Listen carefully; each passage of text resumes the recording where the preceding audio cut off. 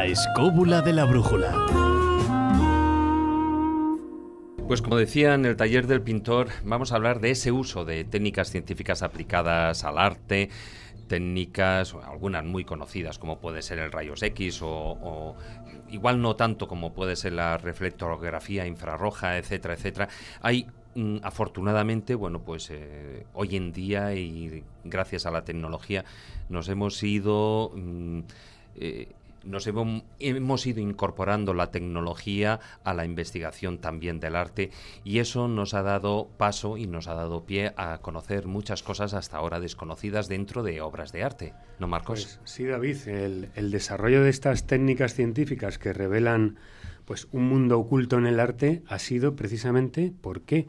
Por la necesidad que tenían los restauradores de saber cómo estaba hecho eso por dentro, de qué piezas estaban eh, compuestas y para saber por dónde tener que rentelar, dónde tener que, cortar, dónde tener que tensar los lienzos. Y ya no te hablo, por ejemplo, de la escultura, que es absolutamente em, traumático el tema de cortar, pegar, toda esa serie de, de, apéndices de las esculturas que han ido desapareciendo. Por ejemplo, este que has mencionado tú en la cuestión de la, de la, de la pintura, pues según los conservadores de las obras del Museo del Prado, pues mediante estas técnicas de la reflectografía de infrarrojos, es decir, hay animales que ven los infrarrojos, nosotros no vemos los infrarrojos ni los ultravioletas. Es decir, Basta con meter una lámpara de infrarrojos en un cuadro para que te aparezcan cosas que, no se ven ahí. Entonces, ¿qué se puede ver, por ejemplo, en las cuestiones de cuadros, por ejemplo, del barroco, renacimiento, eh, manierismo, mm, clasicismo? Mm, nos aportan mm, datos muy importantes. Por ejemplo, si hay un dibujo inicial de un maestro, si hay una escuela o un taller en la que aparece por orden, es decir, el dibujo primero inicial del maestro y luego los repintes y los retoques posteriores de los alumnos que allí trabajaban, ¿no? los añadidos. Se aprecia cómo los alumnos van copiando y van desarrollando esa obra que, además, los entendidos y los investigadores saben distinguir qué mano es de cada uno. Es decir, es, esto es apasionante. Por cierto, hay un detalle también al margen que se va descubriendo y también es interesante para los investigadores en historia, y es que demuestras cosas muy curiosas. Por ejemplo, el uso intensivo, no solo de los lienzos, sino del papel, lo que muestra es que eran carísimos, que había que aprovechar cada, cada centímetro porque valían tanto que se pintaban encima una y otra vez. Carlos, y además voy a citar ahora dentro de un ratito eh, cuestiones de este tipo de aprovechamiento de materiales que decir, ostras, esto es insólito que lo hubiera hecho Velázquez, que lo hubiera hecho Goya, ¿no? Bueno, por, por ejemplo, en Velázquez de todos es sabido que incluso es evidente a simple vista el tema de los arrepentimientos, es decir, eh, ahí hay como... Mm, eh, cambios de opinión una vez que está el cuadro ya pintado o en el proceso de, de la pintura porque veréis, eh, Velázquez, y lo he dicho varias veces, Velázquez es, un tío fantástico que no necesita un grafito, no necesita una cuadrícula, ni dibujar primero para luego pintar. Velázquez lo que hacía era pintaba directamente con el pincel, esbozaba y a continuación atacaba con la mancha.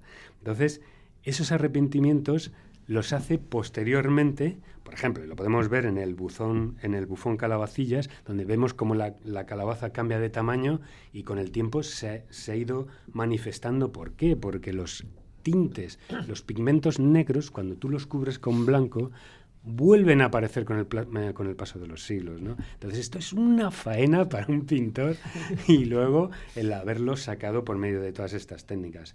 Por ejemplo, eh, otro de los bufones, que es el Diego de Acedo, el primo, ahí eh, mm, Velázquez hacía imprimaciones con blanco de plomo, que esto ya no se usa. ¿Por qué? Porque es súper tóxico. Eso, como te lo lleves a la, a la... Es puro veneno, como te lo lleves a la boca, te puedes envenenar y aparecen, por, ejemplo, las estatuas tanto em, del, Felipe, de Felipe IV mm, de pie como las secuestres, aparecen como hay distintas posiciones de, del propio pie como asienta. Pero esto mm, es una cosa muy curiosa. ¿Y sabéis por qué? Porque Velázquez es uno de los pocos pintores en, la historia que estaba en contacto con su obra después de haberla pintado. Es decir, con los años él la veía colgada y decía, ay, voy a hacer esto, voy a retocar aquí. Era nunca estaba contento con lo que... Lo sorprendente es que además le dejaban.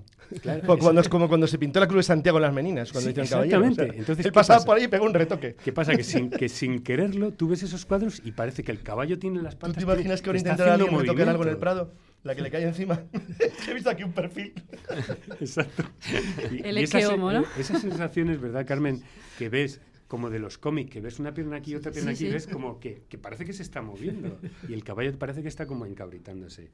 Hay precisamente un, en el uso de la reflectografía de infrarrojos y el uso de los rayos X, un, un vídeo que, que me hicisteis llegar, que presentaba, presentaba Carmen, precisamente intervenías tú, David, eh, pues con los trabajos de Jaime García Márquez en esa conferencia de DCSCICOM. Eh, hay, mm, hay un detalle que os quiero comentar que se ha ido descubriendo poco a poco. Es decir, a raíz de la visita de Rubens a, en, 1600, en 1603 a la corte española, parece ser que Rubens le comunica a Velázquez pues todo lo que se estaba haciendo en los Países Bajos, en Italia, porque él venía de Italia en ese momento, sobre las imprimaciones. Esto lo sabemos ahora por las, eh, por las imprimaciones que utilizaba. Y de repente deja de utilizar las imprimaciones color tierra y empieza a utilizar las imprimaciones color blanco de plomo. El blanco de plomo, las, el cuadro de la rendición de Breda, es decir, el cuadro de las lanzas, es uno de los que está identificado con ese blanco de plomo, que tiene una transparencia y unos brillos estupendos, y a partir de esa visita lo hemos sabido que, que- lo utiliza. Eh, hay otra técnica que se llama la estratigrafía, que es muy importante, que es todo lo contrario, en vez de atacar el, el cuadro frontalmente, lo atacamos así, eh, por lo que es eh, transversalmente. Entonces vemos primero la tela con su trama y urdimbre, la capa de aparejo, la imprimación con ese blanco de plomo, los pigmentos al óleo, las veladuras y luego los barnices protectores que ponía él. ¿no?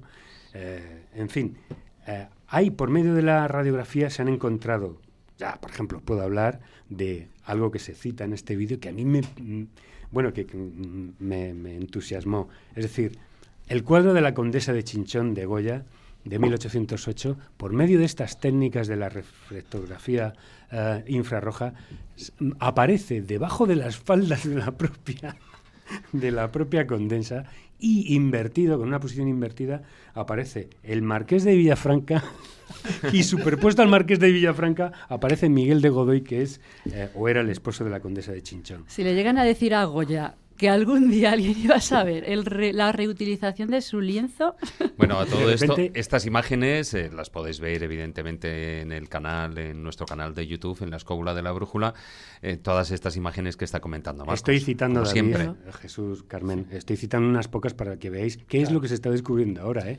Entonces, bueno, pues hay una anécdota en la que, bueno, que es muy conocida, que siendo ministro de Cultura, Mariano Rajoy, eh, se, se escandalizó de que habían pagado 24 millones de euros por este cuadro, ¿eh? que compró el Estado español. Entonces, las autoridades del Museo del Prado lo que le dijeron es que tranquilo, señor ministro, porque eran tres cuadros en uno. son bastante chistosos, yo creo. en el Había muchas cosas debajo de la falda de la marquesa. Pero, pero no eso, iba a decir, eh, no sé si lo traías tú ahí el apunte, pero yo aprovecho aquí y lo hago. Sí, dile. Porque no, mm, está, las técnicas científicas, que es como un CSI de la pintura, eh, han resuelto más cosas que la de decirle a Mariano Rajoy que porque hay que pagar tanto por Sí. ese cuadro. Eh, hace poco fue la exposición del Bosco en el museo, no sé si la visteis, y hubo, vino precedida de una polémica enorme porque desde Holanda se dijo que varios de los cuadros, eh, precisamente del Museo del Prado, no eran originales del Bosco La envidia. que eran de taller, sí, me parece que había un poco de eso. Y, cuando el, cuando el Prado hizo la rueda de prensa en la que rebatía esos argumentos, precisamente los rebatió usando datos apoyados en, en todas estas técnicas, digamos, eh, científicas aplicadas a, a las pinturas del, del Bosco. Pues, ah. De hecho, si fuisteis a la exposición, ahí estaba la reflectografía, Mm. por ejemplo, de infrarrojos, donde se ve claramente esos cambios de diseño que tú dices en, en Mm. la posición de Dios. Dios originalmente estaba mirando, eh, estaba mirando de frente y después sale girado ya mirando hacia Adán. Todas esas cosas se ven ahí. Pues hay un, otro ejemplo, para no cansaros, porque hay muchísimos. ¿eh? Eh, por ejemplo, po- podemos pasarnos a un maestro de los maestros como Leonardo, Leonardo da Vinci, en la famosa Dama, de, Dama del Armiño. Eh, si recordáis, es una figura de una preciosa mujer con una cinta que le ciñe el, el cabello.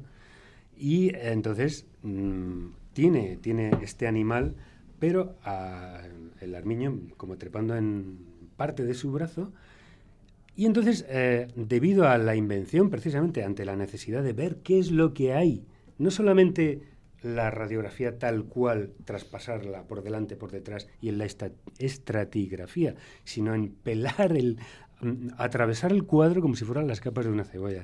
Entonces, el ingeniero francés Pas- Pascal Coté lo descubrió en una técnica que se llama LAM, que tiene una especie de cámara multilente, como muy complicada, que permite explorar esa imagen como si fuera, pues eso, las capas de una cebolla. Y se encuentra con una gran sorpresa en la que aparecen tres estadios de creación de la, de la dama del armiño. Uno primero en que no aparece el armiño, no aparece el animal, está simplemente con los brazos cruzados. Otro en que ya aparece un armiño muy delgadito con una mano en una posición. Y la tercera aparece la mano, una mano preciosa, ¿eh? De verdad, eh, mirar esa mano cómo está hecha y cómo acaricia al armiño, que en realidad bueno, es como una especie de hurón eh, blanco, ¿no? Algo así.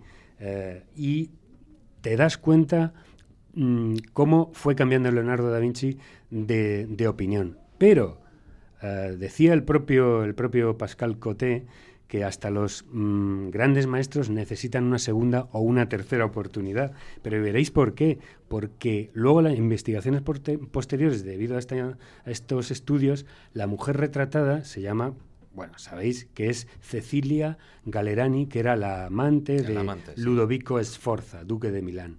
Leonardo estaba a su servicio en, en Milán. El armiño añadido posteriormente, según los análisis de esta cámara, es decir, es el símbolo o emblema de Ludovico. Es decir, ahí tiene como una especie de incluso rayando un poco como la posesión, ¿no? Es decir, bueno, ahí está como que esa mujer es mi amante, pero a la vez me pertenece, puesto que es propio de mi símbolo her- heráldico. Bueno, eh, como curiosidad, eh, los expertos dicen que no es que no es un armiño, sino que es un hurón blanco. Y para terminar, os diré, si yo digo como conclusión, como artista, os digo que, por una parte, para los restauradores está muy bien, está bien conocer, pero para, para desde el punto de vista de un Para el artista, artista no es tanto, ¿no? como un ataque a los secretos de Pero es Alcoba, desnudar el cuadro, ¿no? Es donde ver los sales errores. y ves las chapuzas, ves Claro. los, los, los arrepentimientos, los Pero en de algunos casos. Marcos, servirá para determinar si un cuadro es auténtico, si Eso es, es de ese autor, si es un. Eso es lo que iba a añad- Claro, o quería sea, es añadir yo ahora. tiene. Tiene intervención de ¿Cuántos varios cuadros manos, de Goya no son Porque ya no, no solo que sea, por ejemplo, lo de que decíamos del Bosco, que sea del Bosco, que sea de su taller, diferenciándolo por la diferencia de trazos que sabemos cómo era, Eso es. sino si es una falsificación o no. Porque según la técnica que tú uses eh, y, y la reflexión, digamos, de la luz que te dé, tú puedes distinguir entre tipos de pigmentos. Decíamos, el, el blanco de plomo ya no se utiliza, ahora se utilizan otros. O, por ejemplo, los barnices que se usaban en la antigüedad para eh, poner sobre los cuadros eran fluorescentes a la luz ultravioleta y los de ahora ya no. Tú puedes distinguir entonces restauraciones, pero al mismo tiempo puedes distinguir pigmentos modernos de los pigmentos antiguos que usaba aquel pintor. Es decir, que los falsificadores cada vez lo van teniendo muchísimo más difícil, porque cualquiera de estas técnicas, en unos minutos, eh, diría que los pigmentos y los materiales o la propia tabla sobre la que esté pintado o el lienzo no son de la antigüedad que deberían ser. Pero no solo eh, todos estos, eh, digamos, toda esta utilización de las nuevas tecnologías no solo se está haciendo en, en lienzos, digamos, en óleos, etcétera. También se está haciendo en frescos y en frescos. Lo- con lo Sí. cual parece como que la técnica tenía que ser diferente porque, claro, tú no puedes ponerte al otro lado de un muro eh, para, para, para analizarlo, ¿no? Como puedes hacer a, a través de un lienzo. Pero el infrarrojo te, te, te desvela cosas, ¿eh? ¿El Y de hecho, bueno, por ejemplo, los craquelados de la Capilla Sistina se ve que se han retocado porque decían que había mucho Y además con mucha velas. polémica, ¿no? Pero ha habido pintores que han analizado eso y decían que Miguel Ángel mezclaba con aglutinantes el propio humo, el propio hollín, para dar veladuras, contrastes, etcétera. Y todo eso mm, ha desaparecido en parte. Sí, porque ¿eh? lo han limpiado. Sí, Y de hecho, la resonancia que decíamos antes también se, se usó, digamos que la están desarrollando, como os comentaba, para estas aplicaciones más de restauración, digamos, o arqueológicas. Y una de las pruebas de concepto que ya me hubiera gustado a mí irme con ellos y con el cubo de Rubik este, con el imán, eh, la hicieron en Pompeya, en- en- bueno, en, en realidad en Herculano. Eh, analizando, os decía antes que lo que podemos medir más, porque es lo que más hay, es agua. Entonces, intentando analizar el contenido de agua en esos frescos, lo que tú estás mirando es la humedad. Entonces, usando la resonancia, podían distinguir, por ejemplo, las diferencias de humedad, es decir, lo que absorben los mosaicos, por ejemplo, de, las villas de, de Herculano, con los diferentes pasos de la estación, de cada estación. Entonces viene el contenido de, de, mosaico. Pero no solo eso, podían ver la composición del mortero que se hubiera aplicado sí, y podía haber diferencias si había diferentes composiciones de, de cómo la habían salitre, preparado. La amenaza de que la humedad que se acumula el agua precipita la sal y eso desconcha la pared pero que puede ser por causas naturales, simplemente la lluvia, pero puede ser por otro motivo, que es lo que tú decías, la, una mala restauración. Una mala restauración, si tú usaba, los que usaban para restaurar, para, digamos, fijar, eh, se usaban muchos compuestos orgánicos. Y los compuestos orgánicos lo que hacen es que quitaban la permeabilidad de la barrera, entonces no permitían que entrara y saliera el agua, o sea, que se secara. Con lo cual, al final, el intento de restauración era casi peor para la obra que el no restaurarla, un poco lo que, claro. que decíamos ahora. Porque lo, que lo único que hicieron es que el agua se acumuló detrás, se secó y la sal precipitó. Entonces, esto está ayudando mucho para decidir también qué materiales usar o no. Pero a mí lo que más me flipo... Viendo Hombre, los me imagino también estos, que eso ayudaría a la proliferación de hongos, etcétera. También, claro, por, por la humedad. Pero es que te digo, lo que más me flipó es que analizando esto descubrieron dos fases de, iba a decir restauración, pero en realidad es reconstrucción antiguas. Sí, sí, porque resulta que antes de la erupción del Vesubio hubo un terremoto. Entonces estaban en proceso de reconstruir las casas que se habían destrozado por ese terremoto. Entonces podían distinguir las dos diferentes formas de reconstrucción por el preparado del mortero de, de, las paredes. A mí eso me parece alucinante. Dices tú que para un artista le quita un poco de esa magia, de ese secreto. Pero para mí, como CSI total, me parece Hombre, alucinante. Carmen, yo sabiendo que me, si me van a hacer una no, radiografía yo... de mis cuadros, ya dejaré yo un ahora, graffiti ahora para mismo, las generaciones. Tonto que lo lea. Ahora mismo voy a analizar yo los tuyos. voy a ver lo que hay ahí debajo. Bueno, imaginaros, imaginaros eh, que Miguel Ángel o Caravaggio o alguno si de estos grandes saber, pusiera algo parecido, eh, si lo hubieran sabido, pusieran algo parecido a lo que estaba comentando Carlos. Bueno, yo me quedo con ese tonto el que lo lea y yo creo que esa información seguro que no salía a la luz.